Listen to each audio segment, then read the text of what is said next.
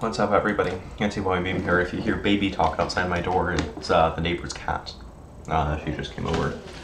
Uh, today, this morning, before school, eating a bagel, everything bagel, and uh, some coffee. Um, it's not homemade cold brew. It's this bottled Peet's coffee, uh, but it's very tasty. And while I do prefer cold brew, um, this is also very good. Yeah. Um, yesterday school. Yesterday school was fun, and uh, you never really see me in this lighting. So early in the morning. It's six fifty-one a.m. I woke up at five. Um, the thing that I do is I wake up at five and then I go on the treadmill until six, and then uh, I do like my other exercises like squats and stuff. Then I take a shower, and now I'm here. and I'm eating breakfast. Um,